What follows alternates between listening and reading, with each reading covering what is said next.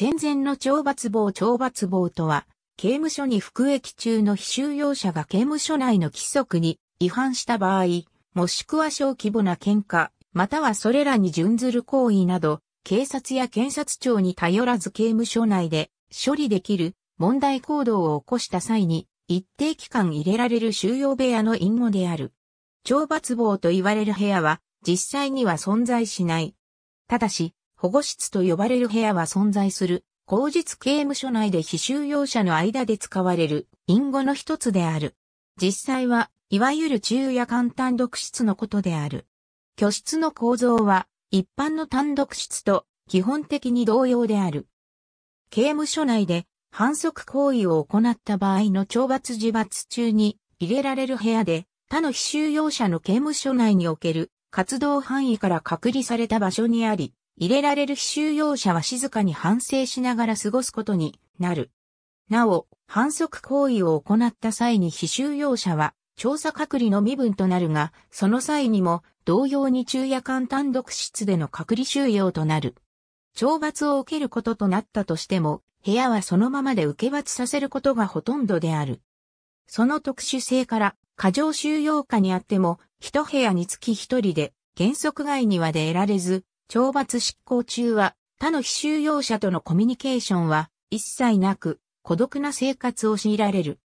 また、映画や漫画のように食事や睡眠時間などが減らされることは、まずないが、一般の囚人に認められている読書や新聞、テレビ視聴、体操といった娯楽は禁じられ、宗教協会を受けることや、各種慰問行事等への参加さえすることができない。しかし、ここ最近の傾向としては、収容者数の増加によって、昼夜間単独室が、懲罰自罰者で満室となることが常態化していることから、本来1名で受け罰するところを2名で収容し、呪罰させることがほとんどの刑務所で行われており、呪罰によるストレスや狭い2名での収容から来る人間関係の悪化等により、呪罰者同士の喧嘩や騒論が後を絶たない。しかし、運動時間や入浴時間は週1回を下回らない範囲で保障されている。呪罰中1回目の入浴は、呪罰言い渡しから起算して7日目で、運動はその翌日。2回目からは5日に1回入浴、運動が行われる。一般受刑者が入浴の日には、懲罰自罰中で、入浴の相当日ではないものは、色神といって、バケツ一杯ほどの湯を渡されその湯を使って、体を拭いたり、頭を洗ったりすることができる。色神は、呪罰という身分上から収容されている部屋の中で行われる。なお、懲罰棒に入ると一口に言っても、非収容者の状態によりそれぞれ違いがある。例えば、何かと暴れると、一定の要件を満たした非収容者は特別な構造を持つ保護室に収容される。状況によっては第二種手錠やヘッドギア、高速衣をかけられる。その際、水洗トイレはあるが、下着を脱いだり、排便の後の始末といった作業が自分でできないことになるため、使用時間や使用方法は細かく規定されている。他には、網棒と受刑者間で呼ばれる特殊な車棒も存在し、本来普通の収容棒としてある部屋のガラスに金網を張り渡し、部屋の上に監視カメラを設置し、対象収容者を24時間体制で監視して収容する。左右の手を縛るだけでなく、両手をへその位置や背中で固定する川手錠は、法務省令の改正により廃止されている。少年院においても、懲罰棒に相当する施設はあるが、懲罰棒とは呼ばず、寮などの名前である場合が多い。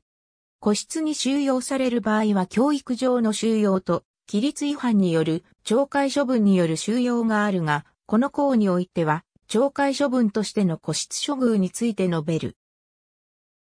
少年院内で上記のような規律違反行為を起こした少年が入れられるが、刑務所よりも強制に重きを置く少年院では、1日中内観をする他に何がいけなかったのか、これからどうしていくかといったことを考え、作文したり教官から面接を受けたりするなど、強制、再発防止への指導を徹底している。入浴は規定通り行われる。入れられる期間は主に20日を超えない期間と少年院法で定められている。反省が不十分な場合や集団に適応できない場合は、教育的措置として個室に収容され教育を受けることになる。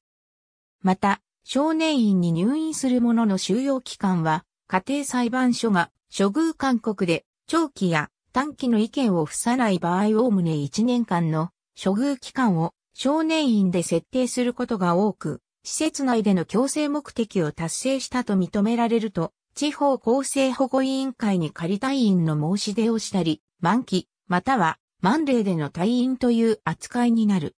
しかし、謹慎により、個室に収容されると、その期間は反省不十分として、ほぼ確実に出院が延期される。ありがとうございます。